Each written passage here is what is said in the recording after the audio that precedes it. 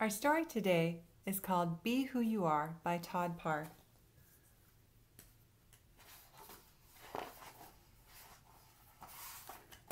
Be who you are. Be old, be young, be a different color.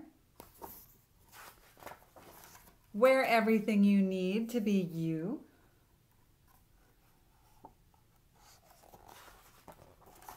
Speak your language. Learn in your own way. Be proud of where you're from.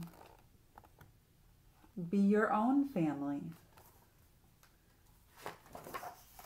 Just be who you are. Be silly. Be brave. Dance, play, discover, learn, read.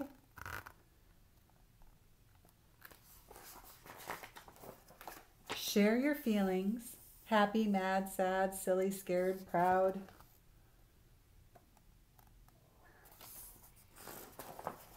Just be who you are.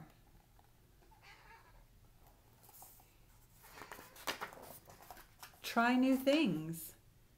Eat tacos or pizza or noodles.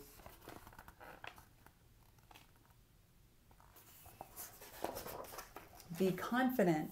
Stand up for yourself.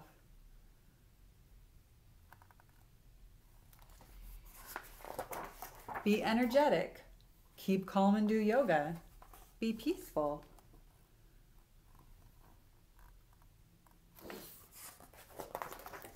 Be the best that you can be.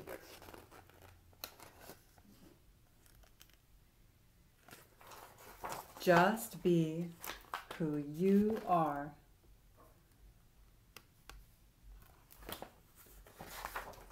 It doesn't matter what color you are, where you're from, or who's in your family. Everyone needs to be loved. Always love yourself and be who you are. The end. Love Todd.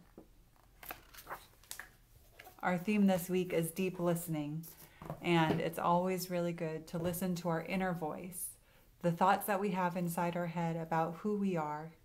So I hope that you're true to yourself and that you love yourself because you're great. Thanks for joining me today.